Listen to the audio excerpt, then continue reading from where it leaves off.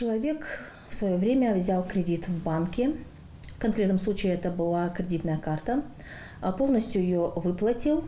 Но спустя несколько лет э, клиенту банк начинает названивать и требовать погасить долг. А он не знает, откуда взялся этот долг, поскольку он, как я говорила ранее, уже был выплачен. И вот подскажите, как в данном случае клиенту банка справиться с этой непростой ситуацией? Ну, касаемо сложившейся ситуации, заемщику необходимо запросить в банке эти ну, документы, то есть э, либо выписка из лицевого счета, либо детализированный расчет задолженности, да, в котором все действия отражены, в том числе и его действия по оплате погашению долга. Вот, и относительно э, коллекторских агентств, реестр, который ведется службой судебных приставов, носит э, общедоступный характер. То есть э, гражданин вправе э, в официальном сайте в телекоммуникационной сети интернет изучить, посмотреть этот э, реестр да, коллекторских агентств и входит ли эта организация, зарегистрирована ли в данном реестре организация, в этом может убедиться. В случае, если эта организация как бы не зарегистрирована в этом реестре и, соответственно, они пытаются ввести заблуждение каким-то обманным путем или путем угроз, скажем так, запугивания должника, то есть э, гражданина, если он даже не, не является должником, пытаются получить как, какие-то деньги с него, ну, следует обратиться, соответственно, в правоохранительные органы. Угу. Вот органы предварительного расследования для принятия мер по охране прав и свобод гражданина. Если банк или коллекторская организация, уже если дело передано коллекторам, а, не идет ни на какие контакты э, с заемщиком, э, не отвечает ни на адвокатские запросы, ни на письма и запросы самого клиента.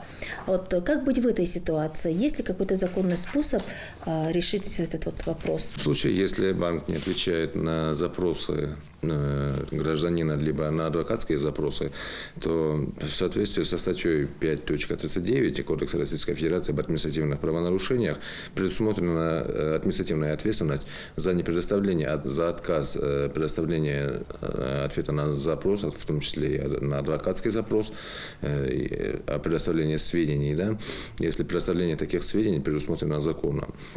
Вот, э, и что влечет за собой э, наложение административного штрафа. Кредитные обязательства, э, хотелось бы отметить, регулируются в том числе и законом о защите прав потребителей.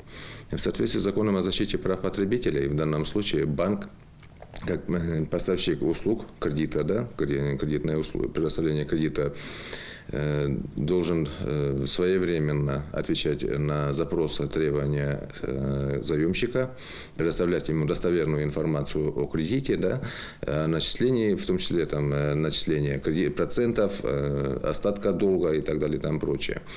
Вот, а о передаче, в том числе и коллекторской организации, переуступки права требования, вот. Если э, банк э, не исполняет такой э, обязанности да, в соответствии с законом о защите прав потребителей и иными нормативными актами, то также, кроме как привлечения к административной ответственности, банк может быть привлечен и гражданской ответственности.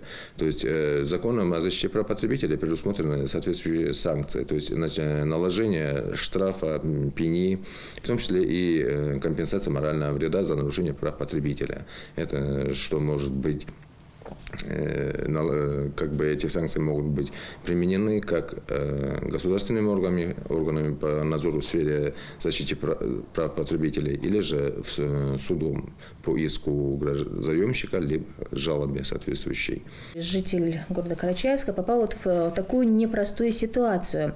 Он принципиально берет, не берет ни кредитов, ни микрозаймов, он вообще не имеет никаких отношений с банками. Но в один прекрасный день к нему заявились домой приставы. Только тогда наш телезритель узнал, что он, оказывается, в одном из банков оформлял а, кредит, а, не выплатил его. И вследствие этого пришли арестовывать его имущество. Вроде разобрались с ситуацией, но в кредитной истории данного гражданина теперь черное пятно. Расул, скажите, а может ли эм, этот человек восстановить свое доброе имя? Хотелось бы обратить внимание наших телезрителей на то, что если гражданин э, получил отчет о своей кредитной истории и он не согласен с э, изложенными в этом отчете сведениями, то он вправе оспорить данный отчет, да, данное сведения в течение 10 лет э, с момента ее последнего изменения, да, внесения изменений в кредитную историю путем подачи соответствующего заявления Бюро кредитных историй.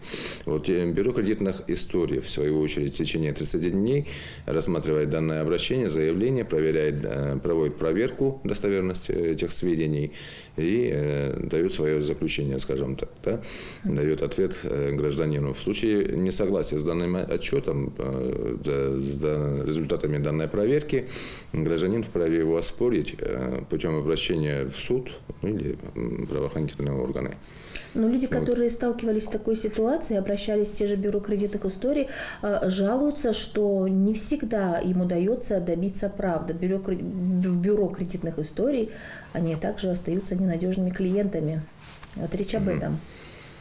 Ну вот э, после э, это обязательный порядок, то есть досудебный порядок урегулирования спора, да, следует сначала обратиться в бюро кредитных историй, получить э, ответы их, будь то отказ в удовлетворении этого заявления, либо удовлетворят.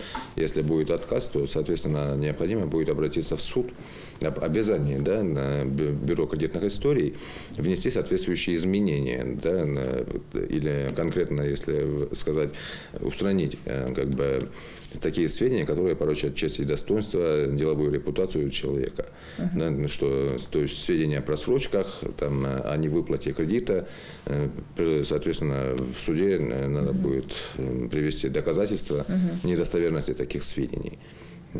Если бюро кредитных историй как бы не отвечает, не, в бюро кредитных историй не находят понимания, скажем так, да, отказывают в удовлетворении заявления, то необходимо обратиться в суд оспорить эти сведения, в том числе и ответ Бюро э, кредитных историй. Очень часто при оформлении кредита привлекаются поручители, но бывают и такие моменты, когда заемщик не в состоянии выплатить или с ним что-то произошло, э, случилось несчастье, он там или погиб, или по каким-то другим причинам не может выплатить этот долг, и его банк взыскивает с поручителя. Скажите, защищен ли поручитель законом? Поручитель э, перед банком берет на себя обязательство да, отвечать за исполнение заемщиком своих обязательств, да, кредитных обязательств. Что, то есть, что заемщик будет своевременно оплачивать кредит, но не оплачивать э, кредит э, самостоятельно поручителем. Вот, э, его обязанность, как бы, скажем так, э, функция заключается в этом.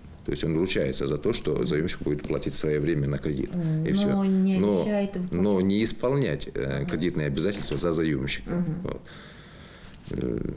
Исходя из этого, соответственно, заемщик, поручитель вправе взыскать ту задолженность, сумму, которая была взыскана в пользу банка за, скажем так, недобросовестное, за недобросовестное поведение заемщика. Угу. Вот.